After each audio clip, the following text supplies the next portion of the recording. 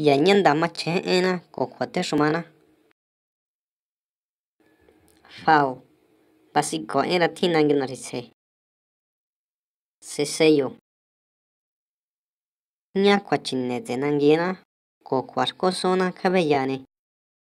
Inali. Nya basiko. gà ena. Gagata yala. Ko kata yashko. Gamichija. Con gakata selangaño. Deje binda kwa kishinga kata yashko kwa chine ko kata mache kwa chine la ti langa tse shita la ti nga kata machine isa kora hieve kona kulta. Si kabiya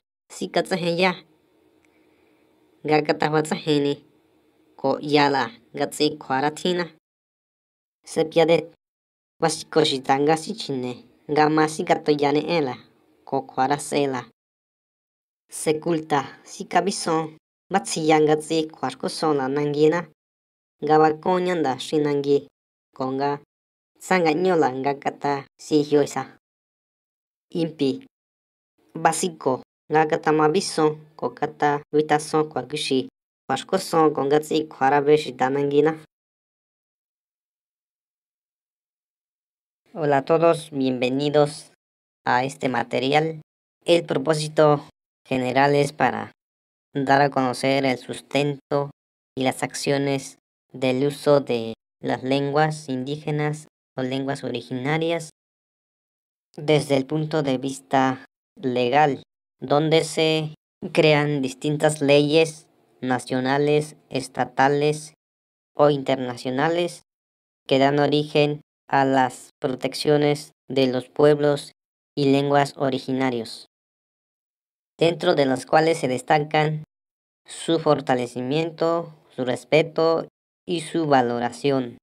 A nivel internacional, tenemos al convenio 169 de la OIT, donde sustenta que los gobiernos nacionales, estatales, deben de asumir responsabilidad en desarrollar, en poder tener participación de los pueblos indígenas, protegiendo y haciendo cumplir sus derechos, aplicando el respeto, el respeto a su integridad, oportunidades para leer y escribir en su lengua materna o el que se use en su comunidad, la oportunidad de dominar la lengua nacional o una de las lenguas oficiales. En este caso, en México, todas las lenguas originarias son lenguas nacionales y es un derecho poder hablarlo. No habrá ninguna discriminación de cualquier persona, institución o gobierno al hablar una lengua indígena, al igual al hablar una lengua nacional que no sea la lengua originaria. Así también el derecho de mantener, fortalecer culturas, formas de vida, instituciones, decisiones de los pueblos originarios, haciendo valer y respetando los diferentes niveles de gobierno. Es importante recordar que el convenio 169 es aplicado en distintos países y en distintas partes del mundo, mientras que a raíz de este convenio, en México tenemos leyes, como es el caso de la Constitución Política de los Estados Unidos Mexicanos, donde en el año 2001 reconoció a los pueblos indígenas de México y queda sustentado desde su artículo 2, donde nos dice que la nación mexicana es única e indivisible, integrados por pueblos o grupos indígenas que han existido desde mucho antes de la época de la colonización, conservando sus propias instituciones sociales, económicas, culturales, políticas o parte de ellas. Esto engloba de forma general a culturas, tradiciones, lenguas, formas de vida. Sin embargo, tenemos otra ley nombrada como Ley General de los Derechos Lingüísticos, que se enfoca únicamente a las lenguas originarias de nuestro país.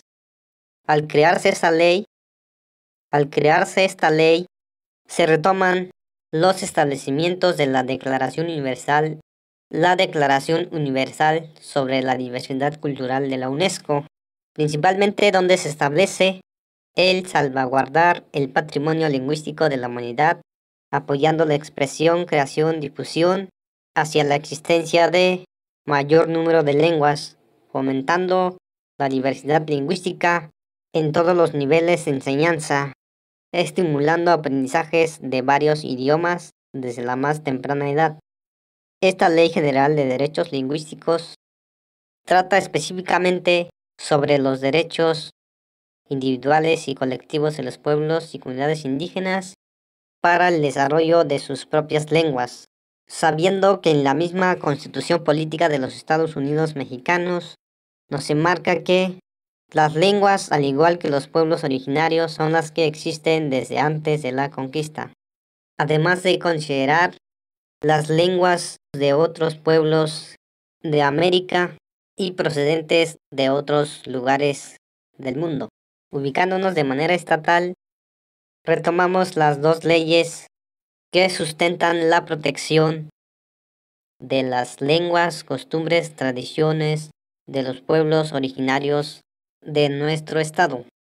Desde el artículo 16 de la Constitución Política del Estado Libre y Soberano de Oaxaca, nos dice que existe en Oaxaca una composición étnica plural, es decir, de muchas culturas, muchas costumbres, tradiciones, manteniendo la libre determinación y la autonomía de estos grupos originarios, es decir, la libertad de su decisión en todos los aspectos que se mencionan sobre sus culturas, derechos, tradiciones, lenguas, formas de gobierno, formas de creencia, del cual esta ley establece medidas y procesos para hacer valer, respetar de los grupos originarios de nuestro estado, reconociendo a 15 grupos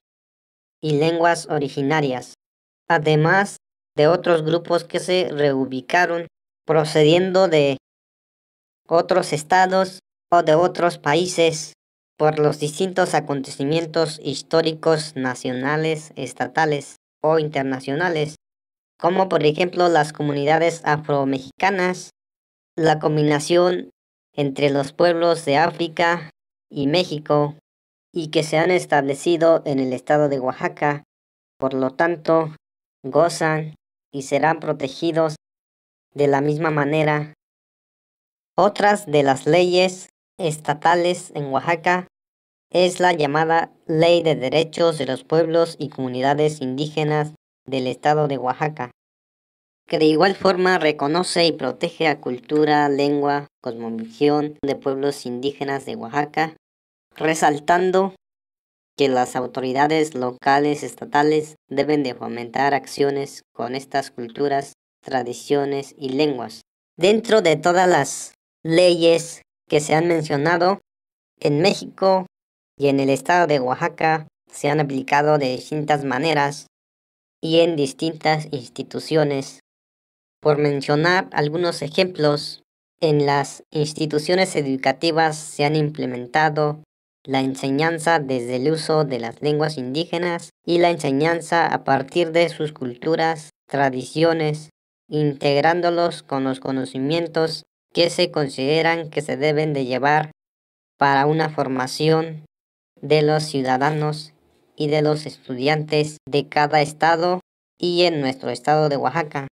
La aplicación de consultas a los pueblos originarios donde se han establecido o construido empresas particulares o de gobierno, aplicando la libre autodeterminación de los pueblos originarios, la igualdad entre todos los habitantes de una comunidad del Estado y de nuestro país, el derecho a la educación sin discriminación de cualquier forma y en cualquier ámbito, derecho a conservar su vestimenta, su tradición, su forma de creencia, difusión, promoción, fortalecimiento de sus culturas, tradiciones, costumbres, incluyendo música, danza, juegos tradicionales, lengua, mediante instituciones como Seculta, Conaculta,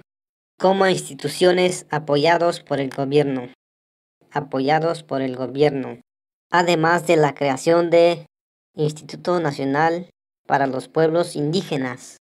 En el caso particular del estado de Oaxaca y las lenguas originarias, surge CEPIADET como una institución no gubernamental, pero apoya para garantizar la defensa y los procesos de los integrantes de los pueblos originarios de Oaxaca.